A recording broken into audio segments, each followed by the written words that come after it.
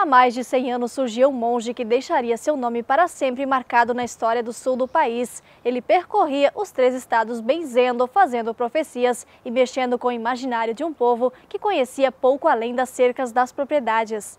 Ele ajudou a acender o estopim de uma guerra e teria desaparecido misteriosamente em um morro aqui do Alto Vale. É dia de conhecer São João Maria. Santo ou impostor, herói ou vilão, até mesmo os historiadores têm dificuldades para traçar o perfil da figura mística de São João Maria, o homem que vagava pelos campos, abençoava nascentes, curava doenças e fazia profecias, plantava cruzes e que teria surgido e desaparecido de forma misteriosa. Lages, na Serra Catarinense, tem uma ligação estreita com a história de São João Maria era milagroso. Parece meio benzedor, né? João Maria era um profeta, era um andarilho e ele tinha uma inteligência é, natural e as suas falas, suas frases se eternizaram. Mas quem foi afinal São João Maria?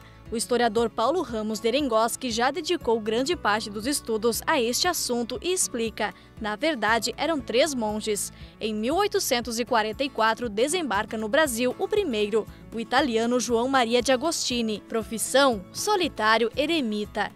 E lá ele viu que havia um campo fértil, porque é preciso que se diga que a presença da Igreja Católica na região era muito fraca e o povo tinha uma ânsia de alimento espiritual. As versões da morte dele são incompletas. Há quem diga que foi bater na América do Norte, em Nevada, onde até existe um túmulo. E sabe o que ele previu? Que seria sucedido por outros monges. E no final de 1800 surge o segundo monge, João Maria de Jesus, nome verdadeiro Anastas Marcaf, um argentino.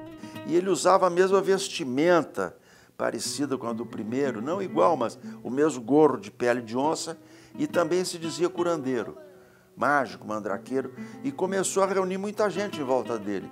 Ele fazia as fogueiras dele só com grinfas, e ele dizia assim que ele só usava grinfas porque um dia a humanidade iria ter necessidade de sobrevivência para respirar da madeira e da mata.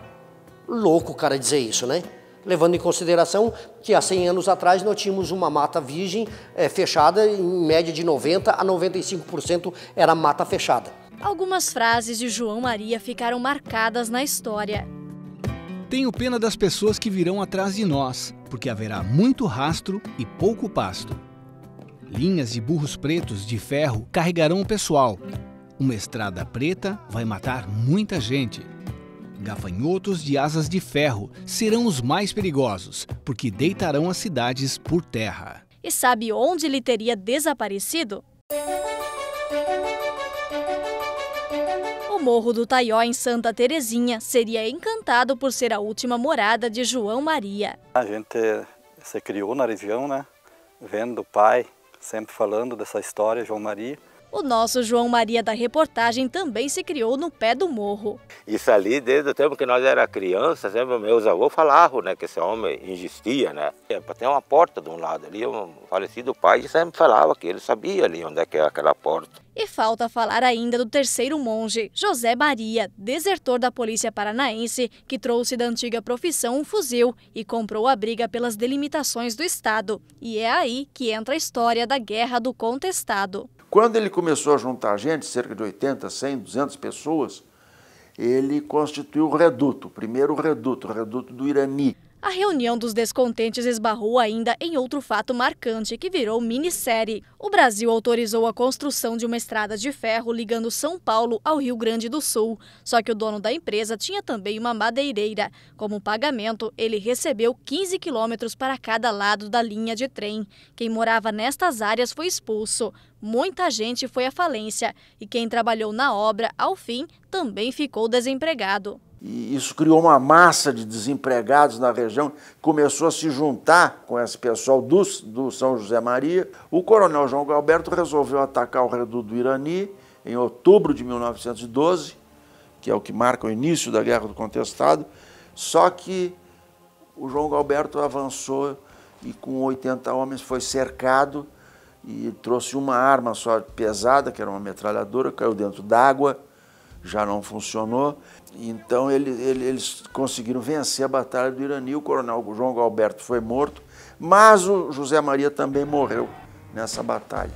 Seu gorro de pele de onça ficou jogado no chão, todo ensanguentado, porque conseguiram acertar na cabeça dele. Todo aquele que crê na palavra não morre.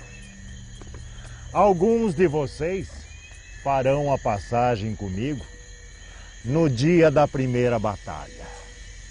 Mas logo após o período de um ano, voltaremos com o sagrado exército de São Sebastião e os doze pares de França.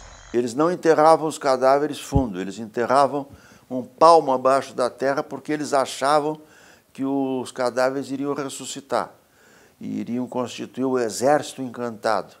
Só que ao longo do tempo, as histórias destes três homens se confundem, como se fossem uma só. Os três monges tinham uma característica em comum: a peregrinação. Abdicaram de qualquer bem pessoal. E além do mais, eles estavam envolvidos em uma lenda da bilocação. É o dom de estar em dois lugares ao mesmo tempo. Você era a pessoa que sofria das cadeiras, coisa assim, e foi, ele curou. E eu tive a felicidade de comprar um terreno bem perto onde, é, onde ele fazia posada, né? Porque ele permaneceu por três dias ali na Restinga Seca. Ele bebia só água de determinadas fontes e começaram a surgir lendas, que onde ele caminhava, a, a água era uma água santa. Plantava uma cruzinha e então surgia a lenda que essa cruz é, reverdejava na primavera e no, no verão. Em Lages, um dos pontos de peregrinação é a Igreja Santa Cruz, onde está guardada uma das cruzes de João Maria. E tem também lenda envolvendo o principal cartão postal da cidade.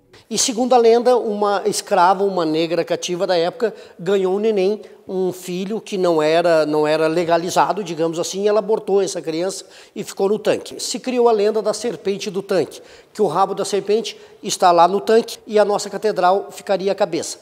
E a santa, a Nossa Senhora dos Prazeres, estava com o pé em cima dessa, da cabeça da cobra. João Maria profetizou que se um dia tirassem aquela santa da igreja, a cidade iria inundar-se. Muito bem, lenda, história, crença, fé, não sei. Eu sei que chegou uma ocasião que o bispo da época, é Dom Daniel Ostin, se não me falha a memória, ele tirou essa santa para restaurar. Coincidência ou não, no segundo dia, a cidade de Lages estava embaixo d'água. Quer dizer, o povo, os católicos, enfim, os seguidores da religião, enfim, teve toda aquela movimentação, a razão foi retirada a santa. E o que aconteceu? O bispo mandou colocar a santa de volta no segundo dia, o sol estava maravilhoso, 28 graus. Com a santa no seu lugar, a população vive sobre a crença de João Maria. São João Maria é um ídolo. E agora a Igreja Católica Apostólica Romana, é, que tinha um certo distância dos monges, é natural, porque era ela, né? Agora ela aceita. Eles viram que isso é uma espécie de cristianismo popular, que com a ascensão de papas como João XXIII e Papa Francisco estão se reaproximando da igreja das populações. Né?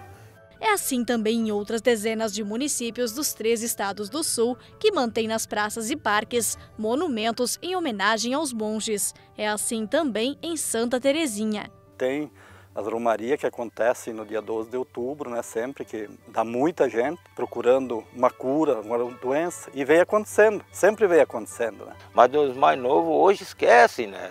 Algum fala alguma coisinha, mas é pouca coisa, né?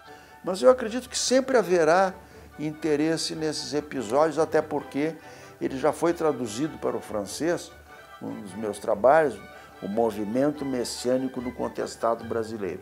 Isso é estudado na Sorbonne na França. Às vezes, certas coisas são estudadas mais lá fora que aqui dentro. Né? O tempo pode até esconder algumas memórias, mas a história dos monges e a sua importância são como uma chama. Sempre há uma faísca se acendendo em algum lugar.